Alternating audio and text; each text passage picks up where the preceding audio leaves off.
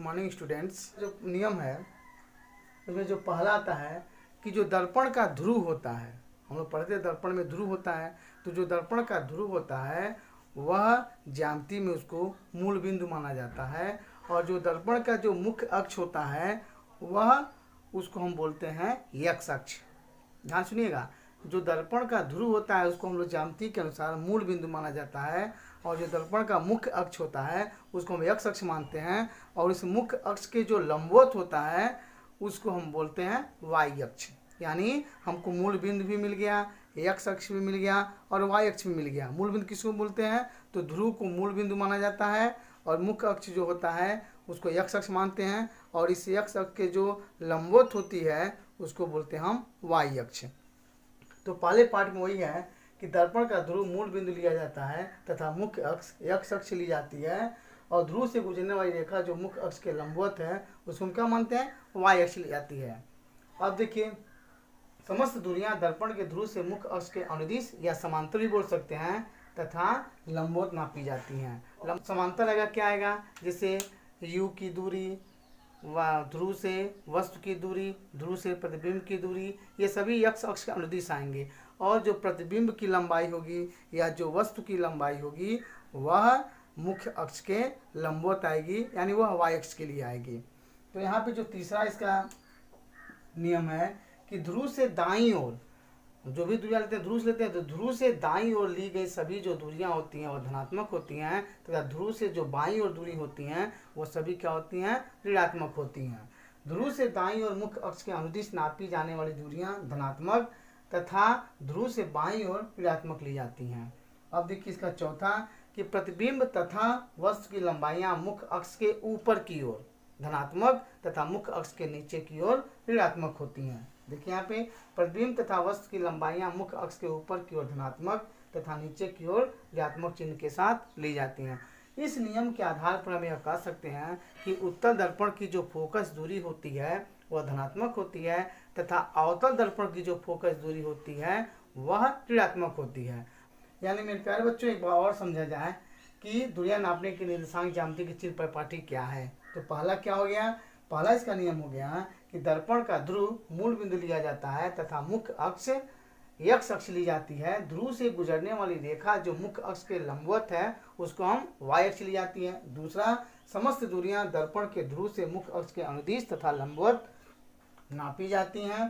तीसरा, ध्रुव से दाई ओर मुख्य अक्ष के अनुदिश नापी जाने वाली दूरियाँ धनात्मक चिन्ह के साथ ली जाती हैं तथा ध्रुव से बाई ओर ऋणात्मक ली जाती है। इसी को हम लोग भाषा में कहते हैं कि आपतित किरण की दिशा में, आपतित किरण की दिशा में ली गई सभी दूरियाँ धनात्मक तथा आपतित किरण के विपरीत दिशा में ली गई सभी दूरियाँ ऋणात्मक होती हैं। इसी को हम लोग ऐसे भी लिख सकते हैं, समझ सकते हैं।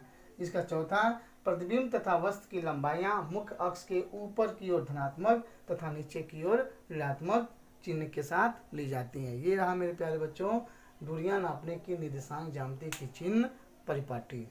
आइए बच्चों, इसकी जो अगली हेडिंग है गोलीय दर्पण के लिए फोकस दूरी तथा दर्पण से वस्तु और प्रतिबिंब की दूरियों में संबंध, यानी इसको हम लोग कह सकते हैं यू बी एफ़ में संबंध।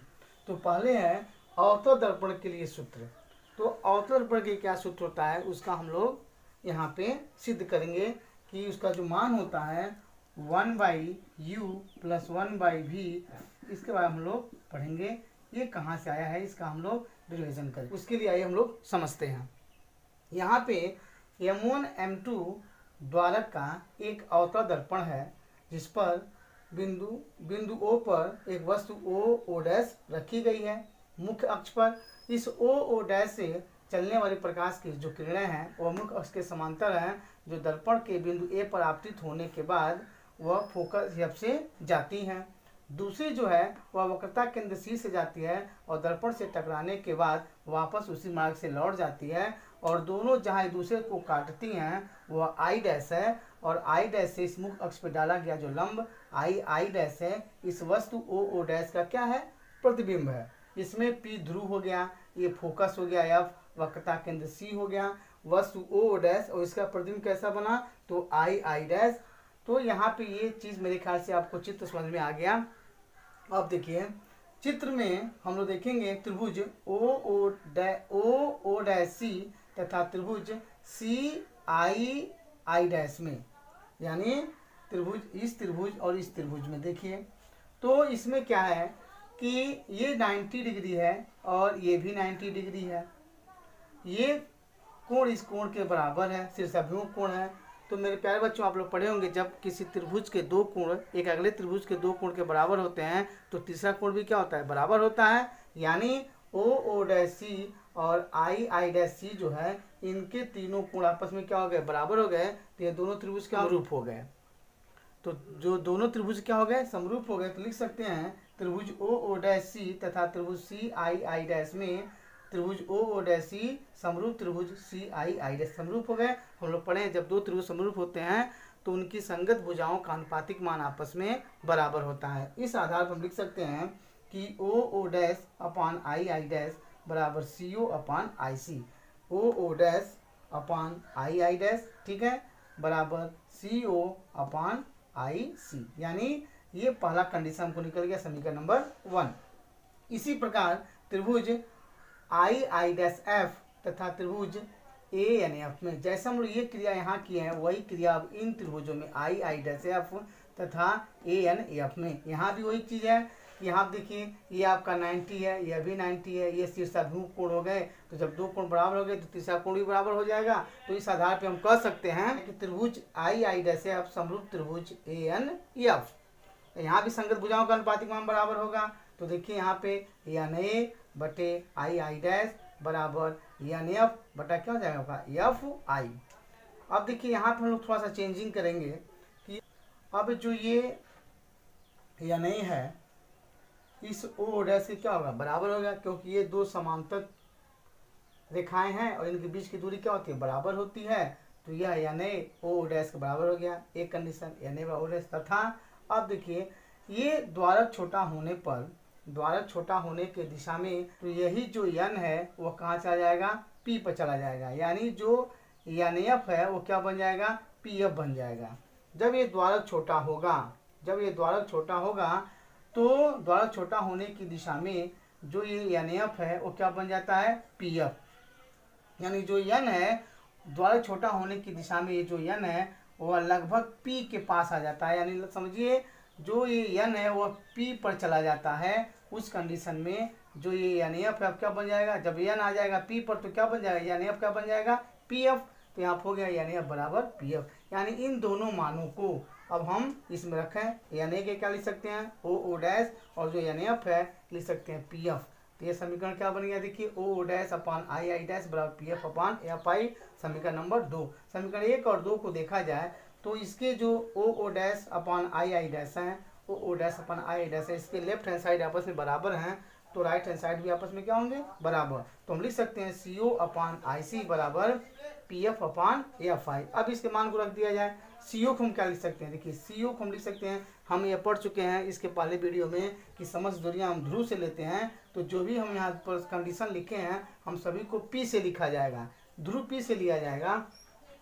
तो सी ओ को हम लिख सकते हैं P O minus P C P O minus P C I C को लिख सकते हैं। तो P C minus P I P F तो पी से हाई है।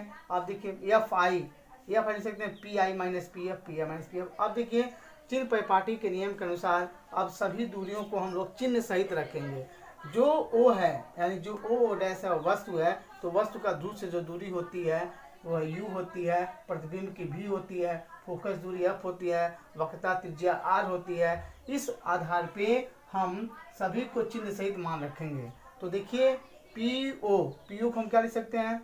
ये हम क्या लिख सकते हैं? हम ले रहे हैं, ध्रुव से बाएँ तरफ़ ले रहे हैं तो हाफ़ हो जाएगा minus U minus minus P C P C देखिए, यहाँ भी हम बाएँ जा रहे हैं तो माइनस आर हो गया। पी सी यहाँ माइनस आर हो जाएगा। Minus P I P I भी हम कहाँ जा रहे हैं? बाएँ की तरफ़ आ रहे हैं माइनस भी हो गया। पी एफ़ भी क्या हो गया? देखिए पी से एफ़ जी है, वो भी बाएँ तरफ़ तो माइनस एफ़ हो गया। पी आई पी आई भी माइनस बी हो गया माइनस पी एफ़ हो गया माइनस एफ़ हो गया। अब माइनस यू माइनस यू अब आर जो दूरी हम लोग पढ़ चुके हैं फोकस दूरी और आर में संबंध हम लोग पढ़े हैं, यह बराबर आर बाई टू यहाँ से हम लोग आर का मान लिखेंगे, हो जाएगा टू एफ़ आर बराबर टू एफ़ तो माइनस यू इस आर को हम क्या माइनस प्लस हो गया आर कर ले सकते हैं टू एफ़ यहाँ माइनस सॉल्व कर सकते हैं minus two F minus minus plus हो गया बी बराबर minus F minus B minus minus क्या हो गया प्लस एफ़ अब देखिए त्रिय गुणा कर दीजिए, जब त्रिय गुणा करेंगे तो हम लोग तो त्रिय गुणा इसका गुणा इसमें कर देंगे, इसका गुणा इसमें कर देंगे तो हम लोग को कंडीशन क्या मिल जाएगा? देखिए कि F B plus F U बराबर यू बी अब अब दोनों पक्षों में यू बी एफ़ से भाग करने पर से भाग करेंगे तो आ जाएगा हमको one by U plus one by B one by F ये रहा अवतर दर्पण के लिए सूत्र। यू बी एफ़ में संबंध भी बोल सकते हैं। अवतर दर्पण के लिए one by U plus one by B बराबर वन बाई एफ़